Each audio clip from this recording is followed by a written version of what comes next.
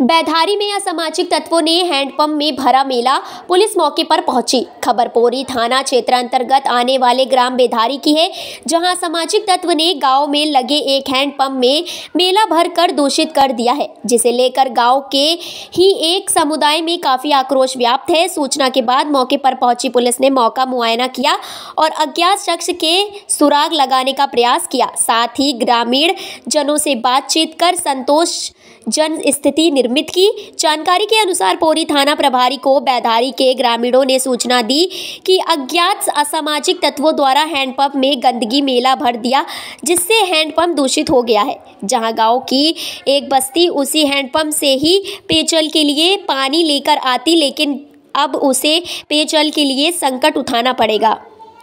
संकट उठाना पड़ेगा। हालाँकि हैंडपंप को पीएचआई विभाग द्वारा जल्द सुधार कर दिया जाएगा।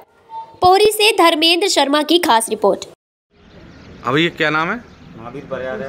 कहाँ से आया? बेदारी से आया। आ, बेदारी में अभी एक असामाजिक तत्व द्वारा एक घटनाक्रम कर दिया। क्या कुछ घटनाक्रम है? जी सर कुछ नहीं मैं सो रहा था। मैं चौकीदार का छोटा भाई हूँ जी। तो गाँव वाले मुझे उठाने आए सुबह। हम्म। हमारा एक सार्वजनिक पंप है जिससे पूरा समाज गाँव मतलब पानी भरता है।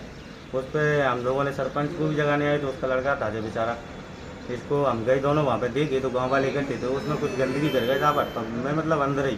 अच्छा। और का कितने लोग पानी पीते हैं उस हेडपम्प से उससे पीते हैं दो सौ घर।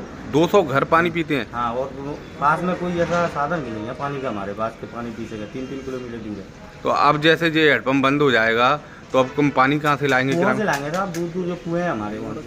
कुएँ से। और ये जो जिसने ये असामाजिक तत्व द्वारा किया है वो अज्ञात है? अज्ञात है सर उसका कोई पता नहीं है अभी। ठीक है। एफ़ आई आर कराने आए हैं। जी सर।